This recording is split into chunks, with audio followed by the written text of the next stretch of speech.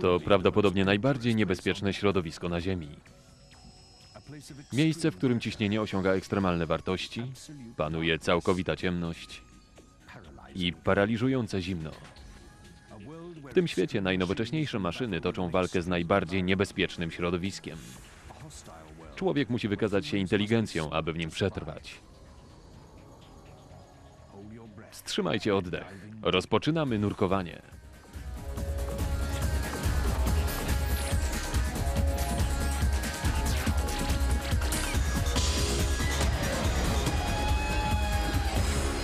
Nowoczesne maszyny.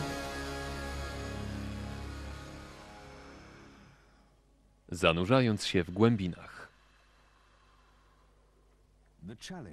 Odkrywanie oceanów zawsze stanowiło wyzwanie dla człowieka. Jak nurkować głębiej, przebywać pod wodą dłużej i nie przypłacić tego życiem. Sprawdzić siebie i swoją technologię w ekstremalnych warunkach.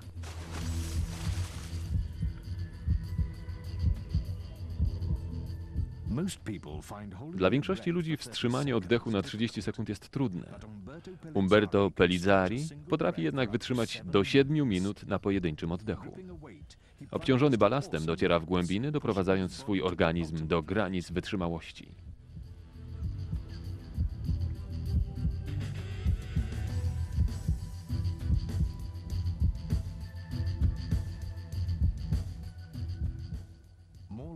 Niczym u foki lub delfina, jego serce uderza raz na dwie sekundy, wolniej niż normalnie u człowieka. Krew prawie przestaje krążyć w jego kończynach. Gdyby przez przypadek otworzył usta na tej olbrzymiej głębokości, ciśnienie wody wypchnęłoby mu powietrze z płuc. Maska zdruzgotałaby mu twarz. W 1993 roku Pellicari ustanowił rekord świata w nurkowaniu bez aparatu, schodząc na 128 metrów.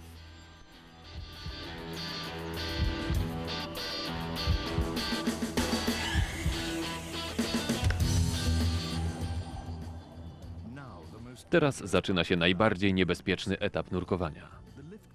Balon wypełniony gazem umożliwia mu powrót na powierzchnię. Jeżeli Pellicari prawidłowo ocenił głębokość, znajdzie się na powierzchni zanim zabraknie mu tchu.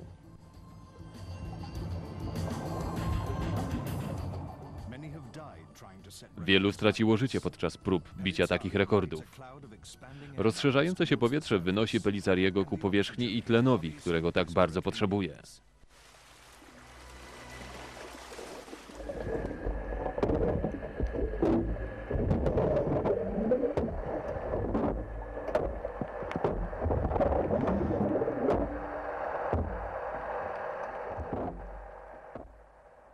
Aby wkroczyć do podwodnego świata, musieliśmy znaleźć sposób na zabranie ze sobą zapasów powietrza.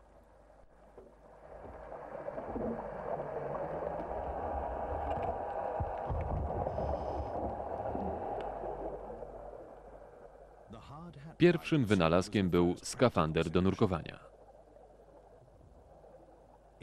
Został zaprojektowany przez Anglika Johna Deana na początku XIX wieku. Wykorzystano w nim nowo skonstruowane potężne pompy, które tłoczyły powietrze z powierzchni na głębokość 30 i więcej metrów.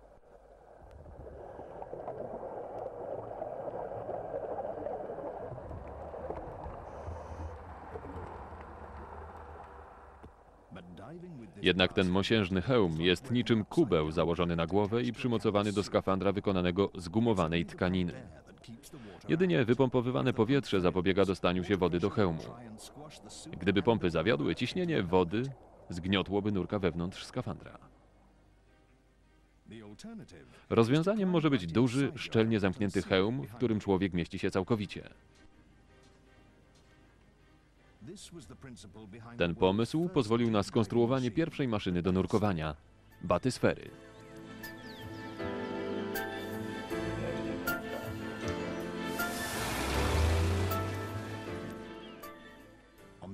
11 sierpnia 1934 roku zoolog William Beebe i inżynier Otis Barton znaleźli się w ciemnych wodach morza w kuli wiszącej na ponad 900-metrowym kablu.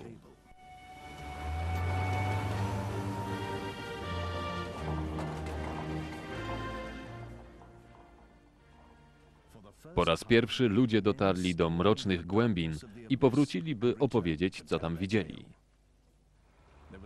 Nie było miejsca na błędy. Tym razem na szczęście batysfera zanurzyła się bez ludzi na pokładzie.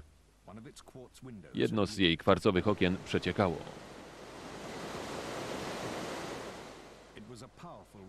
W ten spektakularny sposób przypomniały o sobie straszliwe siły drzemiące w ciemnych i zimnych głębinach.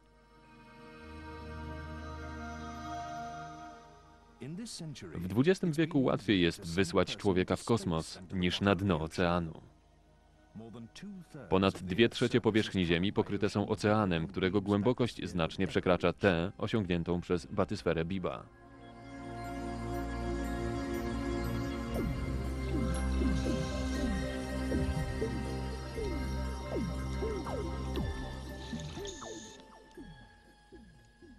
Gdy nurek zanurza się, działające na niego ciśnienie wzrasta co 10 metrów o jedną atmosferę.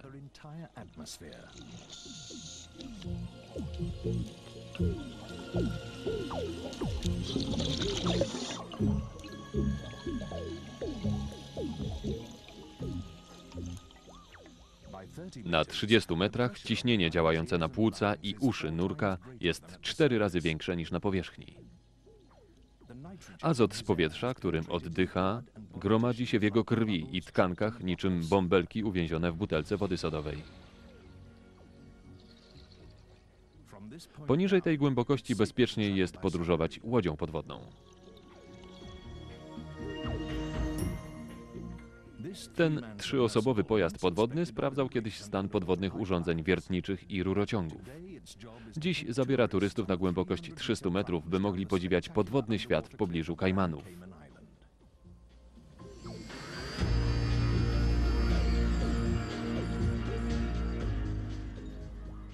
Uskok kajmański to karaibskie wrota ku głębinie.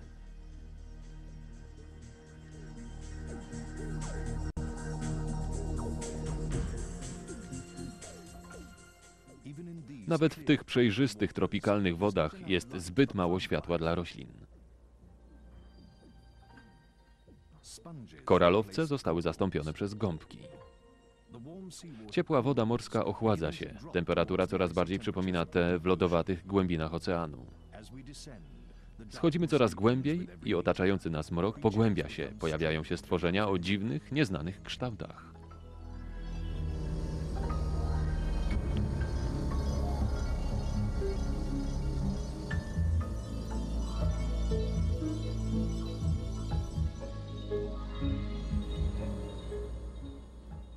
Na głębokości 240 metrów dostrzegamy wrak frachtowca Kirk Pride, który zatonął w czasie huraganu w 1970 roku i spoczywa niepewnie na stromym, wapiennym urwisku.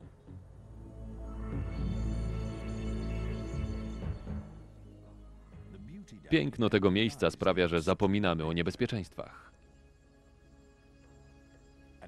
Na 275 metrach na okna działa ciśnienie rzędu 30 atmosfer. Szybko osiągamy maksymalną bezpieczną głębokość.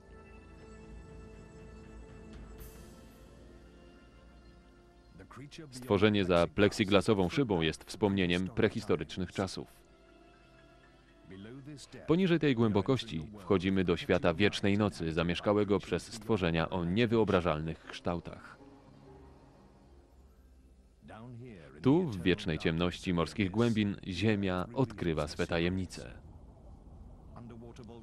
Podwodne wulkany wyrzucają z siebie siarkowe pióropusze, w których egzystują dziwne formy życia.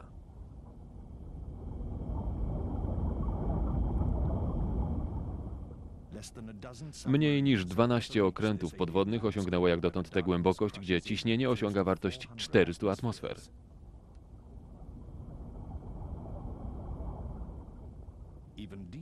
Jeszcze głębiej znajdują się trudne do spenetrowania rowy oceaniczne. Kiedy nad tobą znajduje się ponad 8 km wody, to tak, jakby twoje ciało zostało przygniecione przez drapacz chmur. Ponad 97% dna oceanicznego pozostaje niezbadane, ukryte za welonem wiecznej ciemności. Może to jednak ulec zmianie. Graham Hawkes ma chyba na to sposób. Już niedługo wejdzie on do jajowatej, odpornej na ciśnienie części swojej niezwykłej łodzi podwodnej o nazwie Deep Flight. Tu jest dość ciasno, wchodzenie i wychodzenie nie wygląda zbyt elegancko. Ma zamiar zanurzyć się nią jeszcze przed rokiem 2000. Mamy do czynienia z dwoma problemami. Po pierwsze, trzeba wytrzymać ciśnienie. Ta maszyna została do tego zaprojektowana. Jest lekka, nie wymaga wiele energii i spełnia nasze założenia. Chcieliśmy, by była odporna na ciśnienie. Teraz spróbujemy zejść w dół w bardziej elegancki sposób i uzyskać możliwość pracy na dnie oceanu. Pierwsza na świecie maszyna do swobodnego schodzenia w głębiny została skonstruowana w roku 1950 przez szwajcarskiego fizyka Augusta Picarda. Pierwszy krok polegał na odlaniu stalowej kuli o niezwykłej odporności. Jej ściany miały grubość 10 cm. Stożkowate okna były jeszcze grubsze. W drugiej fazie prac przymocowano ją do metalowego zbiornika w kształcie łodzi zawierającego paliwo lotnicze. Lżejsze od otaczającej wody paliwo miało umożliwić wehikułowi powrót na powierzchnię. Żelazne kule utrzymywane przez magnesy pozwalały na zanurzenie.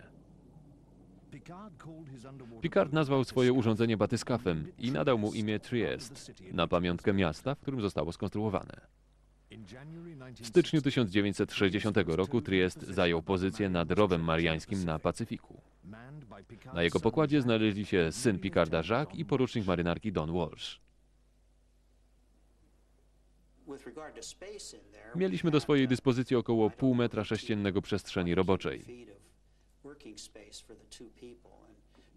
Jacques Picard mierzył prawie dwa metry wzrostu, więc musieliśmy mocno się ścieśnić.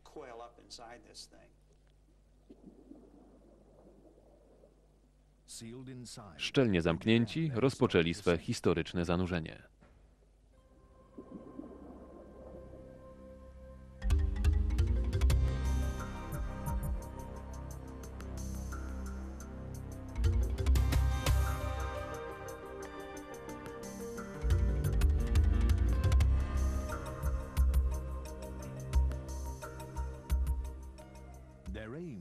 Celem było osiągnięcie głębi zdobywców, najgłębszego punktu światowego oceanu. Dno znajdowało się ponad 10 km pod nimi. Na takiej wysokości przelatują nad Pacyfikiem samoloty.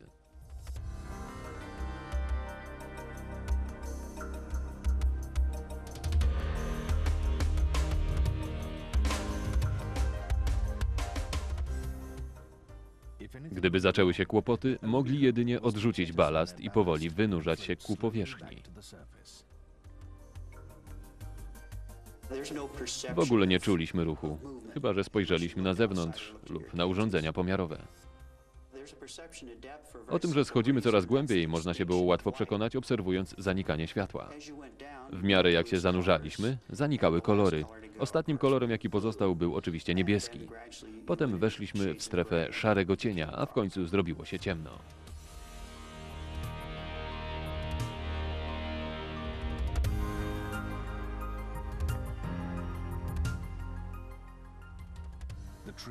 Triest stopniowo się zanurzał. Na głębokości 6000 metrów naprężenia działające na wypełnioną wodą komorę wejściową stały się zbyt duże dla zewnętrznego okna.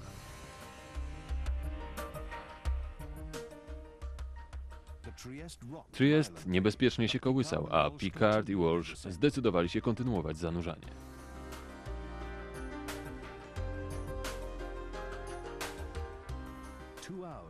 W ciągu dwóch godzin osiągnęli głębokość 8800 metrów. Znajdowali się obecnie na głębokości równej wysokości Mount Everest. Mieli do przebycia jeszcze ponad 2000 metrów.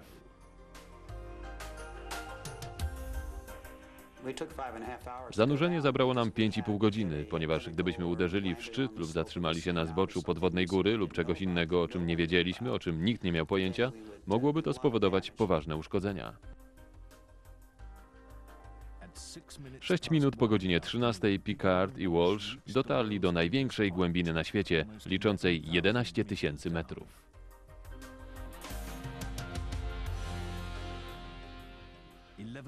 Nad sobą mieli 11 kilometrów wody. Batysfera musiała przeciwstawiać się straszliwemu ciśnieniu.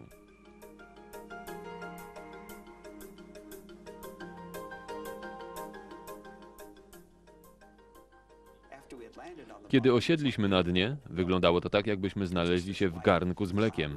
Otoczyła nas biała chmura. Czekaliśmy pół godziny, ale widoczność nie poprawiła się. Rozpoczęliśmy więc powrót na powierzchnię. Żelazne kule zostały odrzucone i niezwykła maszyna rozpoczęła powolną podróż ku powierzchni. Trzy lata później Triest powrócił w głębiny. Tym razem miał do wypełnienia o wiele smutniejszą misję. Nowoczesne maszyny.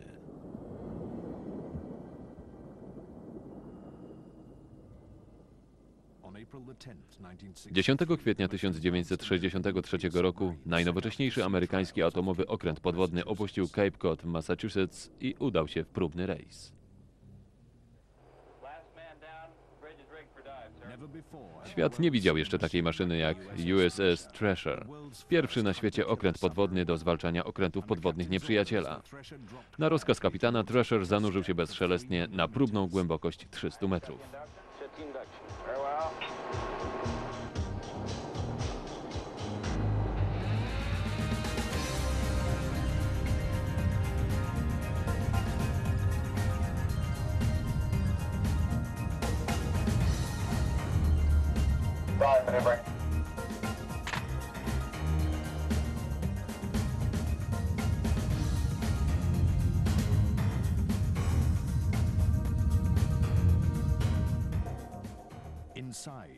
Wewnątrz okrętu załoga rozpoczęła rutynowe poszukiwanie mniejszych przecieków, pewna, że mocny stalowy korpus wytrzyma ogromny ciężar napierającej morskiej wody.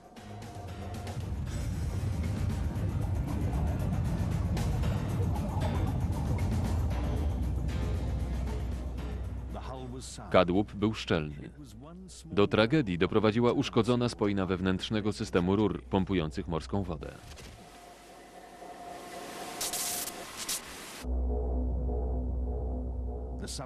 Reaktor atomowy okrętu wyłączył się automatycznie.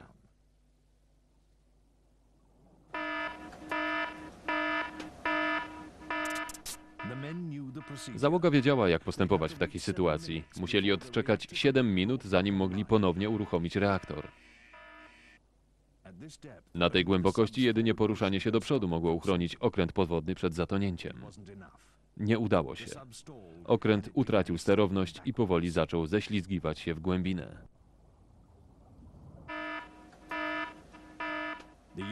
USS Treasure przekroczył krytyczną głębokość 300 metrów.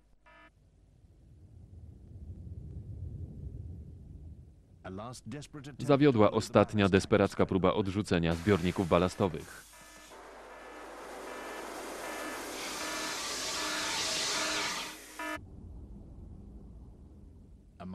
Niewielkie zagrożenie przerodziło się w poważne niebezpieczeństwo. Treasure utracił sterowność i zanurzał się ku głębokości 450 metrów, stanowiącej granicę bezpieczeństwa. Chłodne wody Atlantyku coraz silniej napierały na kadłub, poszukując słabego punktu.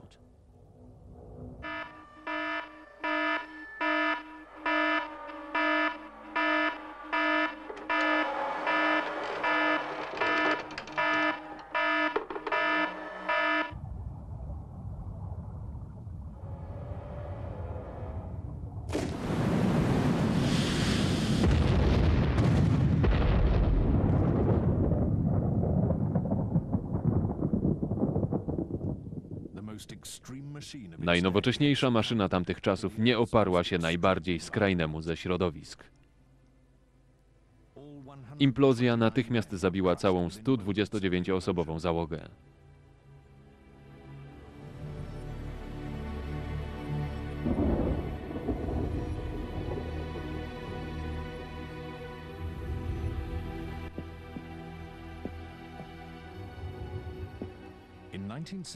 Kiedy Treasure uległ katastrofie w 1963 roku, dno oceanu było nieznanym światem, prawie niedostępnym dla ludzkich oczu. Jedynym urządzeniem podwodnym mogącym odnaleźć wrak był Triest. Jednak pomimo długich poszukiwań i przeczesywania morskiego dna, Triest natrafił jedynie na niewielkie fragmenty okrętu.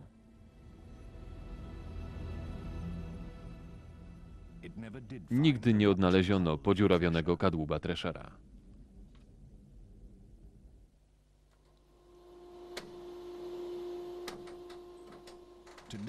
Dzisiejsze maszyny są o wiele lepiej przystosowane do swoich zadań.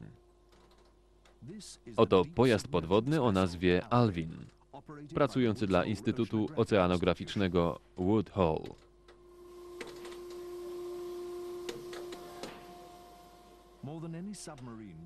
Alvin, bardziej niż jakakolwiek inna maszyna, zrewolucjonizował nasz sposób poznawania głębin oceanicznych. Podobnie jednak jak w innych pojazdach skonstruowanych przed nim, podstawową częścią konstrukcji Alwina jest odporna na ciśnienie kula.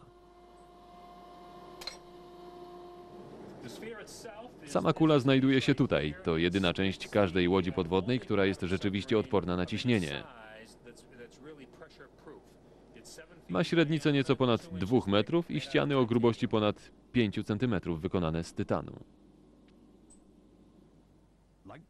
Podobnie jak Triest, zaopatrzona jest w pięć niewielkich iluminatorów wykonanych z plexiglasu o grubości 25 cm. Żelazny balast umożliwia zanurzenie się.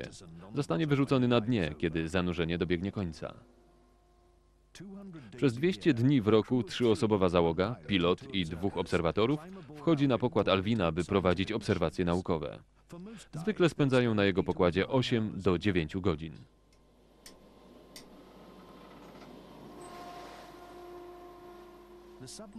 Ta maszyna ma neutralną pływalność. Zaprojektowana jest tak, aby ciężar żelaznego balastu i akumulatorów był dokładnie równoważony przez jej naturalną wyporność.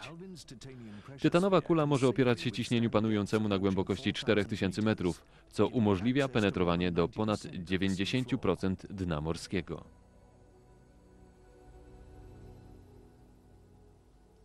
Raz po raz Alwin zanurza się w obcy świat podwodnych głębin, będący niczym otwarta księga natury.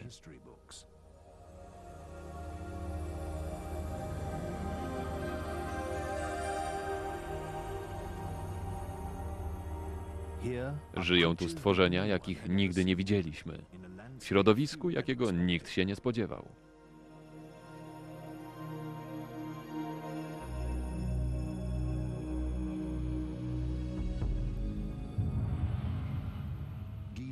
Gejzery czarnego dymu wydobywają się z pokrytych siarką otworów w skałach.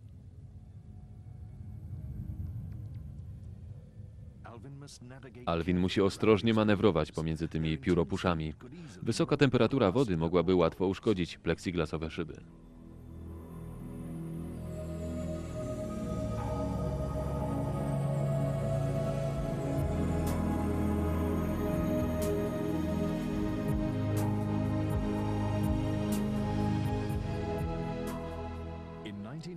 1985 W 1985 roku po raz pierwszy od 70 lat ludzkie oczy ujrzały wrak Titanica. lying in over 3 kilometers Te zdjęcia wraku spoczywającego na dnie na głębokości ponad 3 km sprawiły, że opinia publiczna doceniła pracę Alwina.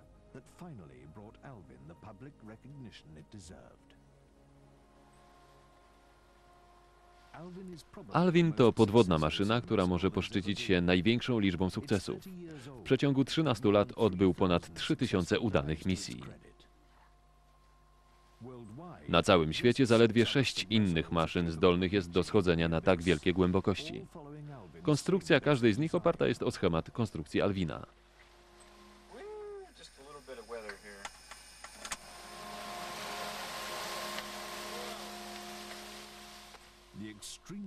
Specjalne wymagania związane z tak głębokim nurkowaniem sprawiają, że budowa tych urządzeń jest niezwykle kosztowna, a ich użytkowanie i konserwacja wymagają jeszcze większych nakładów finansowych. Na szczęście dla nas istnieją tańsze sposoby zwiedzania morskiego dna.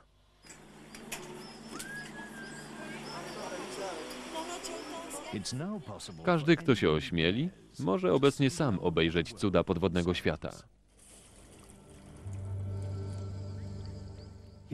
Tutaj, we Freeport, na wyspach Bahama, turyści mogą wejść na pokład łodzi Deep Star i podziwiać dziwny, pełen błękitów świat rafy koralowej.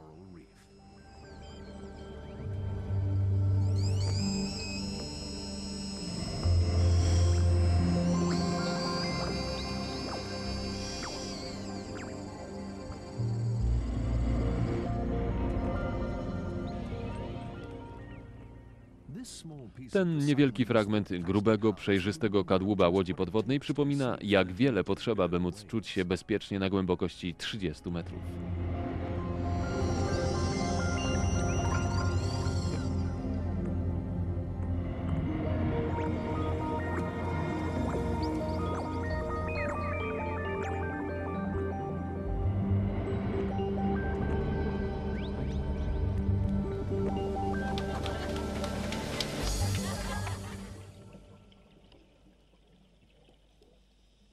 Nowoczesny sprzęt do nurkowania wykorzystujący butle ze sprężonym gazem pozwala płetwonurkowi oddychać powietrzem o ciśnieniu takim, jak otaczająca go woda.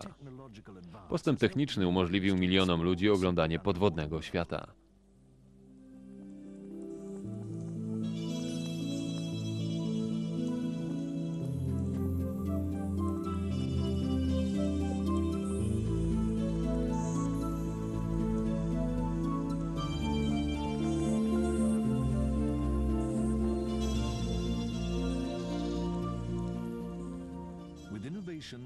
Dzięki takim wynalazkom jak komputery noszone na ręku niczym zegarki i kombinezony piankowe o neutralnej pływalności, istota ludzka może upodobnić się do ryby, przynajmniej na jakiś czas. Pod wodą jednak znaleźć można też coś o wiele bardziej ponurego. Coś, co rzadko wypływa na powierzchnię.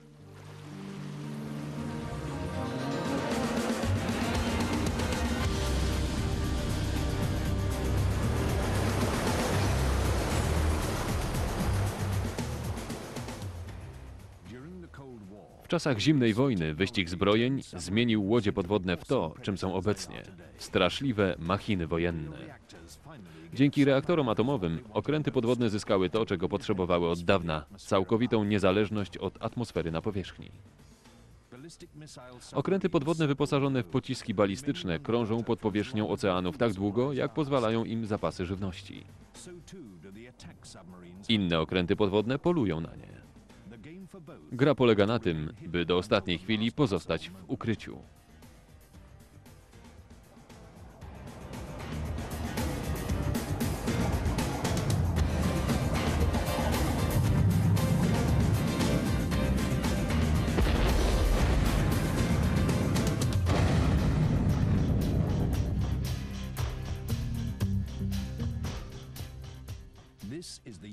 Oto USS Scranton, okręt wojenny szybkiego reagowania klasy Los Angeles. Dziś rejs ćwiczebny. Watch on the 1MC. Dive, dive. Dive. Dive. Dive. Dive. Forward group,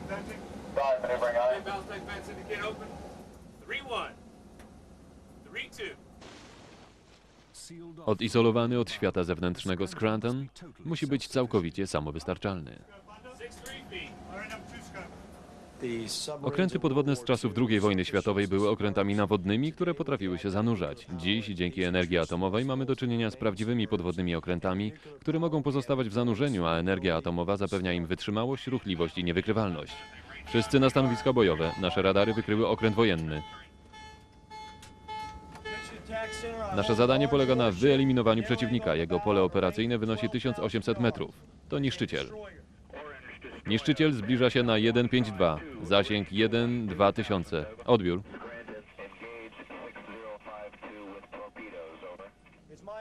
Musimy podejść do niszczyciela jak najbliżej i zniszczyć go używając torped. Pytania? Przygotować torpedy do uzbrojenia. Odpalać na mój rozkaz. Zrozumiałem. Gotowi do uzbrojenia. Gotowi do uzbrojenia. Opuścić peryskop. Cała naprzód. range 8,000 yards. Utrzymywać kurs. 2-0. Torpedy gotowe do odpalenia. Cel w zasięgu torped. Czekamy na rozkaz. Otworzyć wyrzutnie. Cel. Torpedy odpalone. Torpedy zmierzają do celu. Cel namierzony 153. Zasięg 7,5. Kurs 121. Prędkość 2,0. Torpeda w celu. Okręt zniszczony i tonie.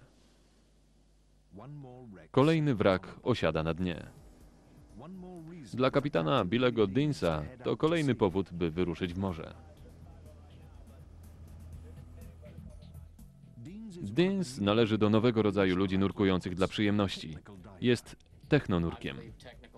Wydaje mi się, że ten rodzaj nurkowania jest kolejnym logicznym krokiem w ewolucji tego sportu.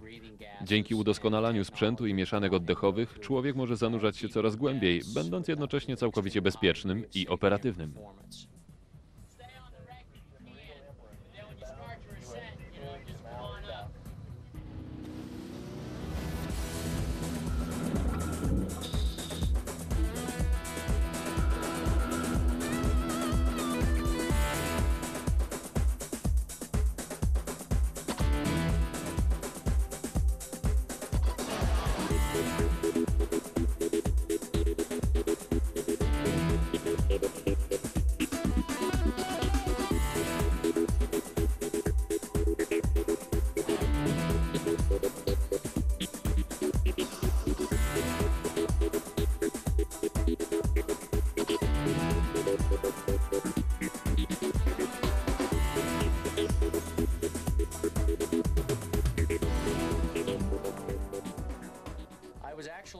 Badałem właśnie wrak USS Softly, spoczywający na 127 metrach w pobliżu Key West.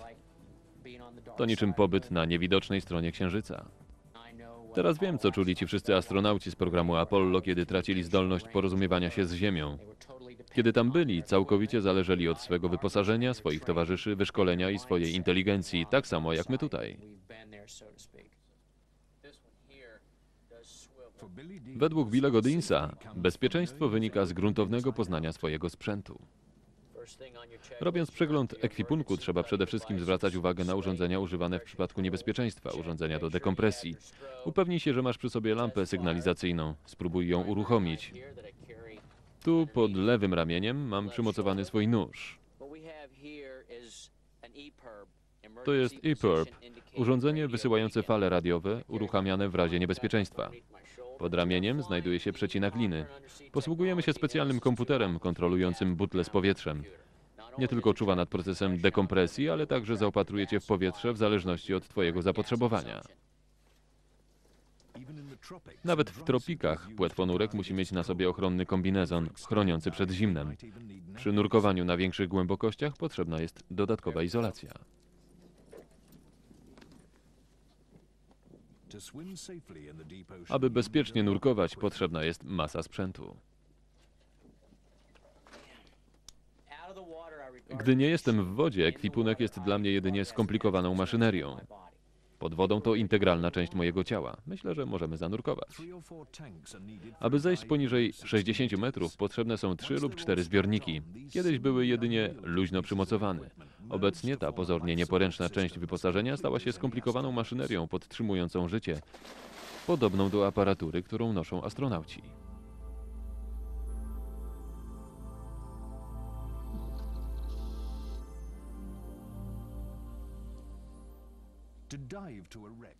Ci ludzie nurkujący wokół wraku zatopionego okrętu podwodnego nie oddychają zwykłym powietrzem, lecz mieszaniną tlenu, azotu i rzadkich gazów, takich jak hel.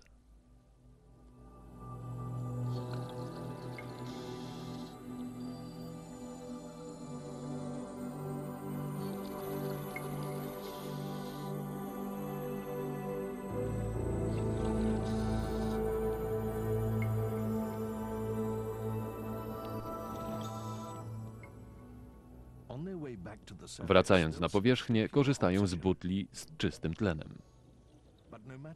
Bez względu jednak na wybraną mieszankę, istnieje granica liczby butli z gazem, które może mieć ze sobą jedna osoba.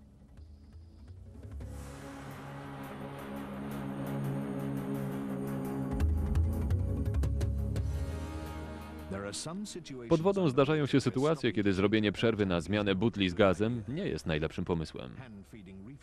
Dokarmianie rekinów z ręki to jedna z nich. Tu na wyspach Bahama, w centrum uwagi, znalazło się urządzenie, które ten płetwonurek nosi na plecach. Pozwala ono na dłuższe by przebywanie pod wodą i częściowe odzyskiwanie zapasów powietrza.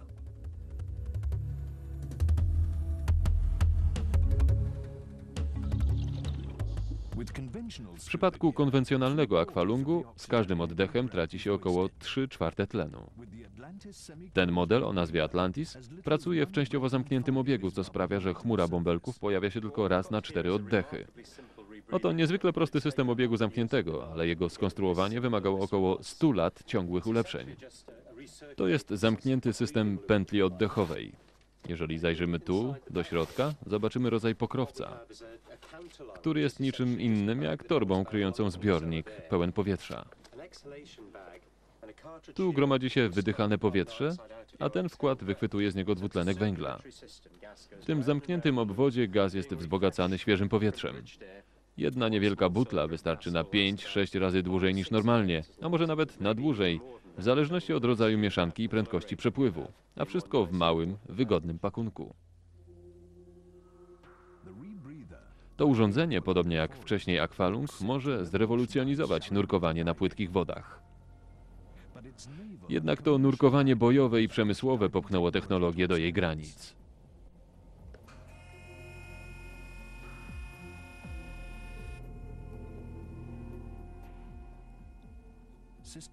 Obecnie pracuje się nad urządzeniami, które umożliwią płetwonurkom schodzenie na ponad 300 metrów.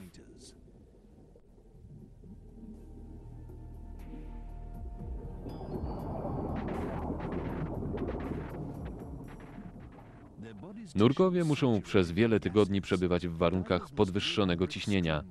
Ich tkanki zostają nasycone gazami. Pociąga to za sobą wiele niebezpieczeństw. Kiedy próbujesz schodzić coraz niżej, okazuje się, że gazy, którymi oddychasz, stają się trucizną. Tlen staje się trucizną i trzeba go mieszać z helem. Oddychasz mieszanką trzech gazów. Sprężone gazy, które wdychasz, oziębiają twoje ciało, tak więc musisz ogrzewać gaz, żeby nie umrzeć z powodu wychłodzenia organizmu. Olbrzymie problemy stwarzają też gazy rozpuszczające się we krwi. Nurkowanie coraz głębiej pociąga za sobą coraz wyższe koszty.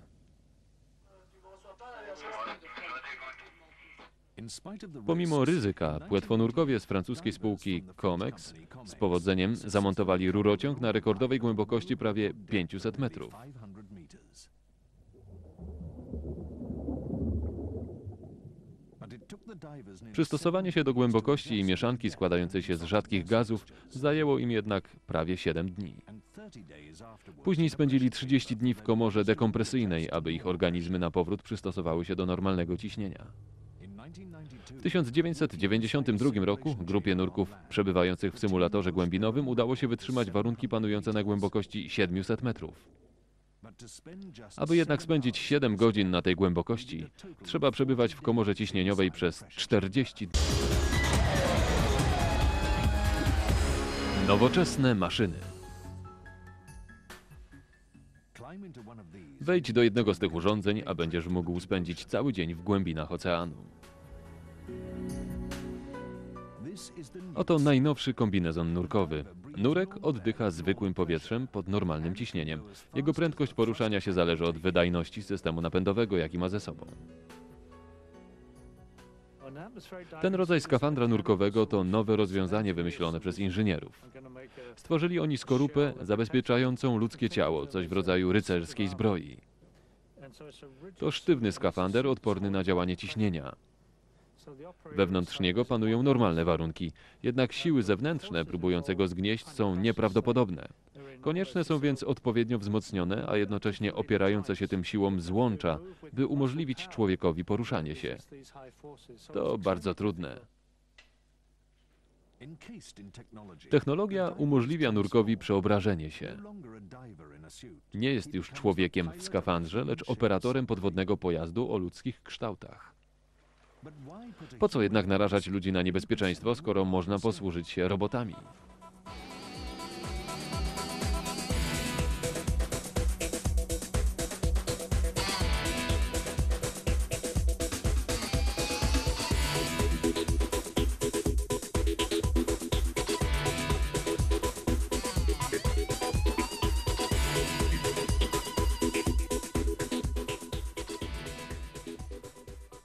Od 1980 roku roboty ROV, zdalnie sterowane urządzenia podwodne o różnych kształtach i wielkości, umożliwiają dostęp do najbardziej niebezpiecznych części oceanu.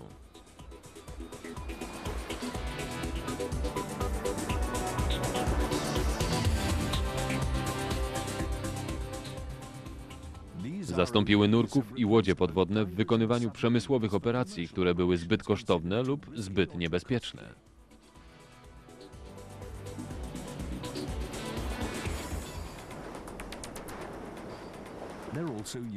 Używane są także do badań naukowych.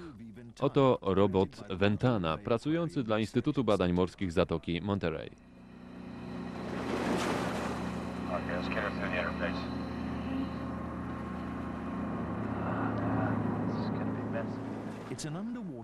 Urządzenie to połączone jest z powierzchnią przy pomocy kabla dostarczającego energię i umożliwiającego sterowanie.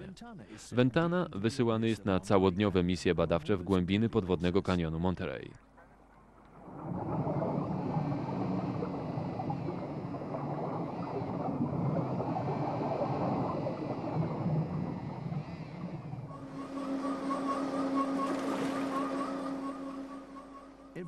Wszystko, co zobaczy ROV, jest natychmiast przesyłane przy pomocy kabla światłowodowego do centrum dowodzenia na powierzchni.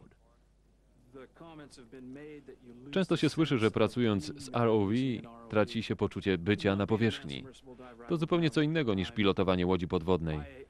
Ale urządzenia, które tu zamontowaliśmy, pozwalają mi na kontrolowanie wszystkiego, co dzieje się wokoło w przestrzeni trójwymiarowej.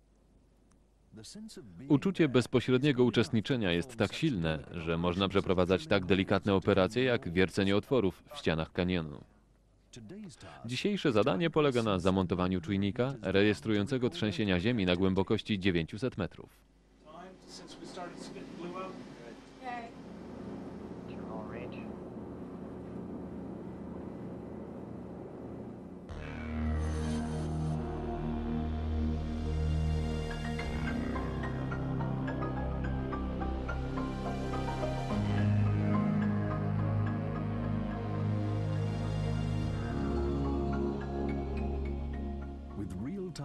Obrazy są przekazywane z wentany w czasie realnym i niezwykły widok z podmorskich głębin może być transmitowany na cały świat.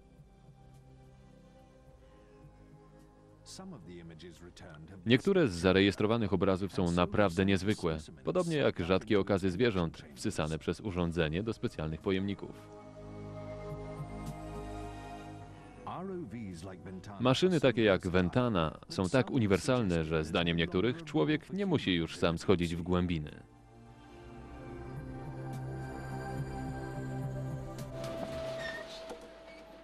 Oto Uniwersytet Atlantycki na Florydzie, znany z konstruowania autonomicznych urządzeń podwodnych. Raz zaprogramowane utrzymują się w toni, wykonując polecenia człowieka. Inteligentne maszyny, takie jak ta, będą niedługo przez cały czas pracować pod wodą, informując nas jedynie o swoich odkryciach.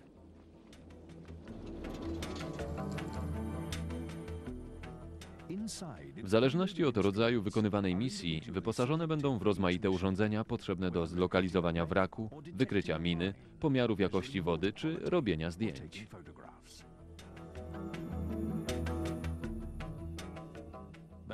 Nie wszyscy jednak są zdania, że badania głębin powinno powierzyć się wyłącznie robotom. Musimy teraz schodzić o wiele głębiej i poruszać się o wiele szybciej. Tego nie da się zrobić przy pomocy sztucznej inteligencji. Nie możesz być zawsze połączony kablem, tak jak w przypadku ROV. Nadal chcę budować maszyny podwodne kierowane przez człowieka, co bardzo lubię.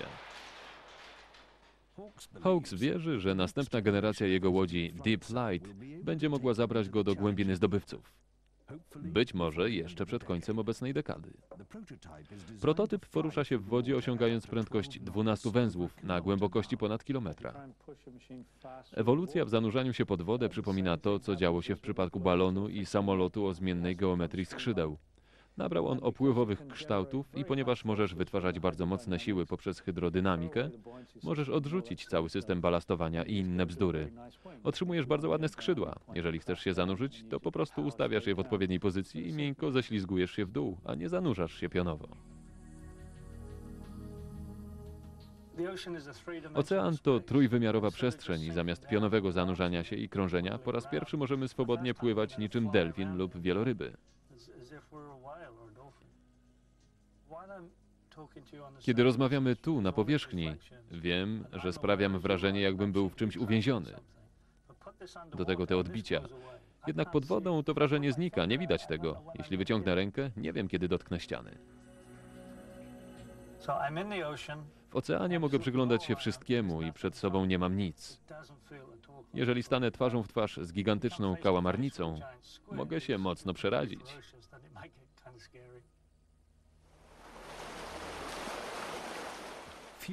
Niewielu może być tak dumnych jak Hawks. In 1995, W 1995 roku Japończycy wysłali zdalnie sterowany pojazd o nazwie Kaiko w największą głębię rowu mariańskiego.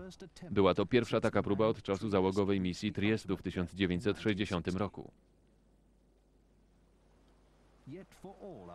Mimo całej naszej nowoczesnej technologii, żadnemu człowiekowi nie udało się powtórzyć wyczynu Jacques'a Picarda i Dona Walsha i dotrzeć do najgłębszego miejsca na Ziemi. Hillary zdobył Mount Everest w 1953 roku. Od tego czasu miało miejsce około 600 ekspedycji. Od początku rozpoczęcia programu kosmicznego i lotów załogowych około tysiąca osób przebywało w kosmosie. Rozczarowuje mnie, że jak dotąd tylko dwóch ludzi w końcu naszego wieku odważyło się zbadać najgłębszą część oceanu. Powinniśmy się bardziej starać.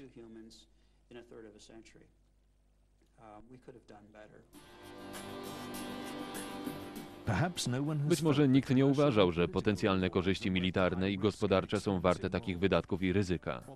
Być może wystarczyło nam badanie płytszych akwenów.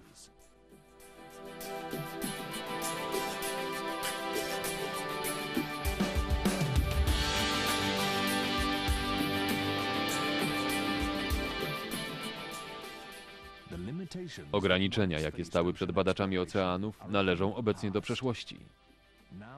Dysponujemy dziś odpowiednią technologią, a podwodny świat czeka, aby go odkrywać.